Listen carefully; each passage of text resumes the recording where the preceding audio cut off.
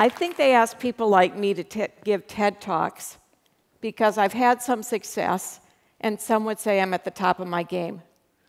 I'm president of one of the nation's leading academic medical centers. I've managed multi billion dollar organizations. My research has saved lives. I've helped change the way people think about health, particularly women's health. And I've worked with world leaders on urgent issues in global health. I've been around the block a few times, so maybe this is the top of my game. But the dirty little secret I'm going to share with you today is that I'm not even really sure what that game is. And I'm far less sure how to play it competitively.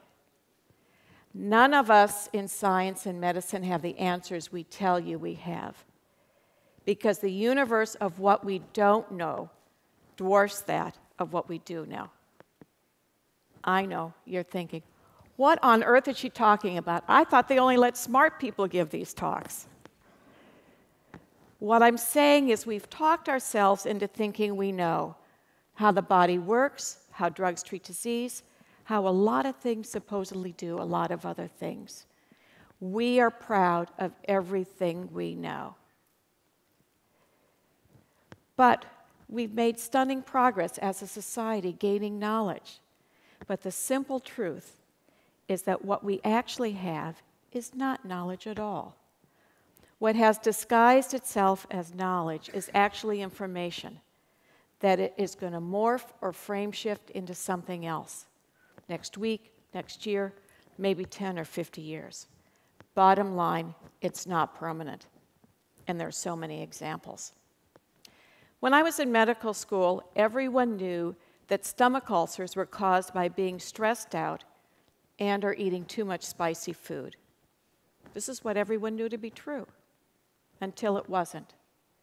Until we found out that not stress, not anxiety, and thankfully not pizza caused stomach ulcers. No, it wasn't until Barry Marshall and Robin Warren discovered that stomach ulcers were caused by the bacterium H. pylori. And clinicians found that you could zap the bacterium and make it go away, and you and I could get back to worrying and eating junk food. Although, as a cardiologist, I'm not advising it. You see, each bit of new information is but a blip in what we know. New information supplants old information, and the cycle continues. What I can tell you with certainty is this knowledge as we know it is fragile and ever fleeting. But you don't have to take my word for it. The annals of history are brimming with amazing discoveries which have been transformed into knowledge that have changed the world, changed medicine, changed society, changed us. It is clear that many things have changed in our lifetime for the better, but it's not because of what we know. Rather, the most significant progress we have attained is traceable not to knowledge, but to another concept humility. Humility is a simple sounding word that belies the complexity behind what it means to be humble and why being humble even matters beyond polite discourse. The dictionary definition of humility is a low or modest view of one's importance, and its synonyms are modesty, humbleness, meekness, unassertiveness. To be clear, the humility I'm talking about today goes far beyond polite discourse. What's humbling to me, philosophically speaking, is that we humans are but the teeniest of cogs in the vast universe of forces, thoughts, objects, and things. Despite all of our knowledge, we humans are desperately in the dark about how most things work. Humility is the secret ingredient that unveils truth and brings about change. For most people, the birth of a child is a wondrous, memorable event. It's often referred to as a miracle. The change of a child coming into our lives when it happens is truly humbling, intellectually humbling, because it causes us to question what we know and whether we know enough. To a scientist like me, it is far more remarkable. Experiencing the birth of my first child some 28 years ago on a snowy Boston day was truly memorable for my husband Gary and me. To a parabiologist, that such a thing as gestation could occur on its own for nine months, and most of the time so flawlessly, was borderline inconceivable, if you pardon the pun. That's because in the laboratory we have virtually no idea how to do the vast majority of things the body does according to its own elegantly written script. We can grow cells in the lab, but do we really think they represent those in our skin, our heart, our brains? Not really. Put simply, we're nowhere near being able to pull off what nature does so effortlessly. We're fairly sure, in this case, I'd say reasonably sure, that our organs are composed primarily of cells and other components that keep our living systems active and alive. But do we really think they mimic our vital organs, such as the heart and the liver? Do they function anywhere near as well as the real thing, such that we can create organs on demand? The mysteries of nature routinely humble us to the core of our being. But all is not lost.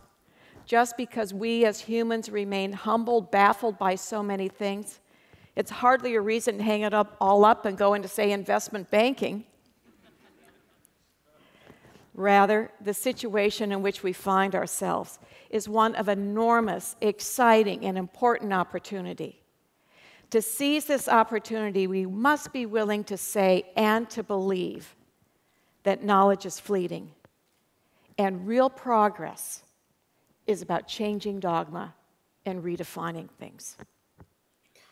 To venture into the unknown with intellectual humility, giving ourselves permission to feel comfortable in this uncomfortable space. In the vernacular of everyday life for people like you and me, it's about having the courage to doubt or challenge the status quo. It's to step away from what's known to be fact and to say, what if it's not? Let's all allow ourselves just to see what happens without trying to predict ahead of time what the outcome is going to be. One individual with this capability was Dr. Joseph Murray, a very dear friend who passed away in 2012. Joe worked at the Brigham for 64 years and was a wonderful clinician, mentor, scientist, and teacher. He even got one of those shiny gold medals they give out for really big ideas in science and medicine. Joe was an incredible human being, an unassuming gentleman whose desire to help humankind drove his creative experimentation and his many discoveries in the laboratory that had a profound impact on human health.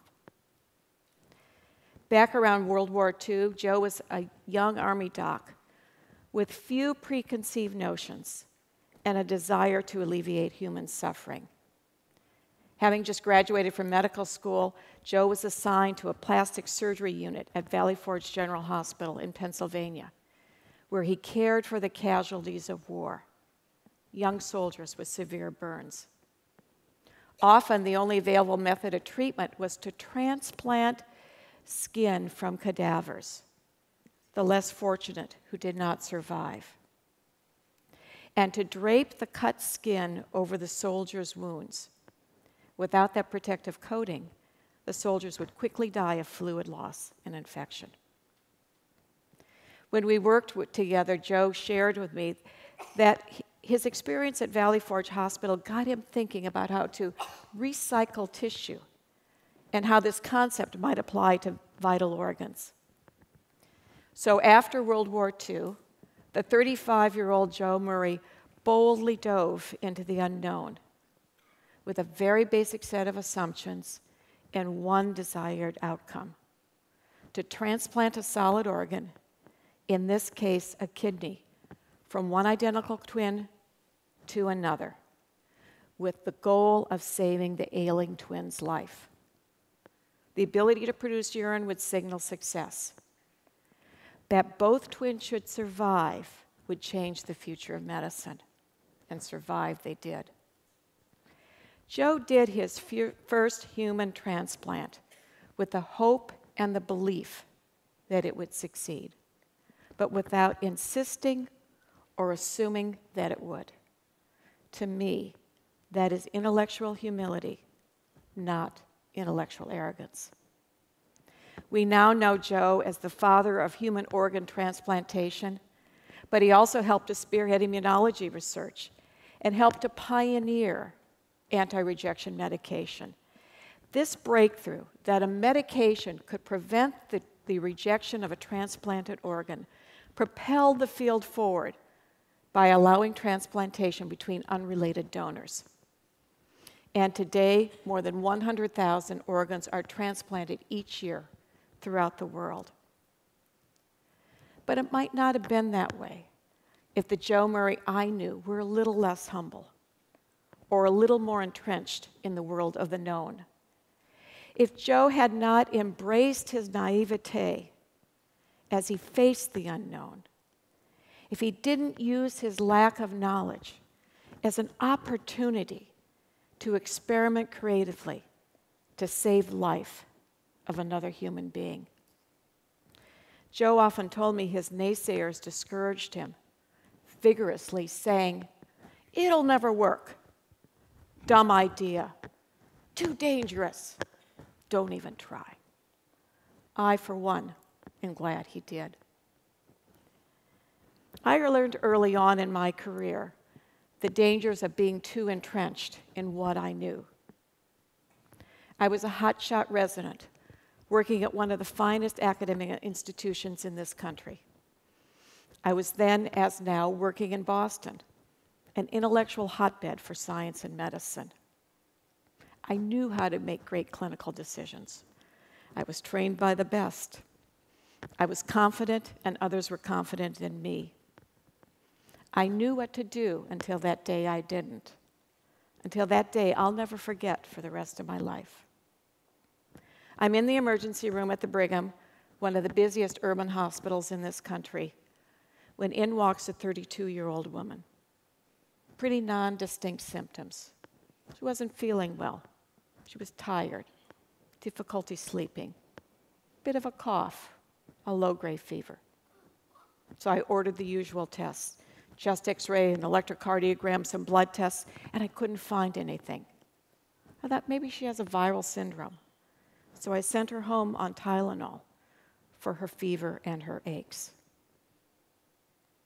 To my horror, two days later, she returned to, this, to the emergency room having suffered a full blown heart attack. A 32 year old woman? A heart attack? It's not possible. That's what I knew. I was taught that heart disease was a man's disease, and the role of the woman was to support her husband, brother, father, significant other. But today, medical residents and fellows know better. Today, we know that when many women suffer a heart attack, they don't experience chest pain, but they feel tired, weak, just like my patient. And today, we know that heart disease is the number one killer of women in this country. But back then, I missed the diagnosis. I was mortified. I felt so stupid. My gold plated knowledge had failed me big time. But thankfully, I received a reprieve. My patient survived and did well, and I learned an extremely valuable lesson. So I return to this simple concept of humility. I'm talking about the everyday kind of intellectual humility that allows you and I to accept the fact that most of what we know will change. It will, before long, become wrong. And there's nothing wrong with being wrong. We're only at the beginning of understanding life. Maybe we're only halfway into the first chapter. Maybe we don't even have the right words. And maybe, not maybe, but most certainly, the story is written in multiple languages that we cannot yet comprehend. There is far more to health and disease, more broadly speaking, about humanity itself, that is either knowledge cloaked in false security or simply really good guesses. My message today is a positive one. It's an urgent call to action to redefine what knowing means, to be intellectually humble, to embrace the unknown, and to know for sure that it's okay not to be sure.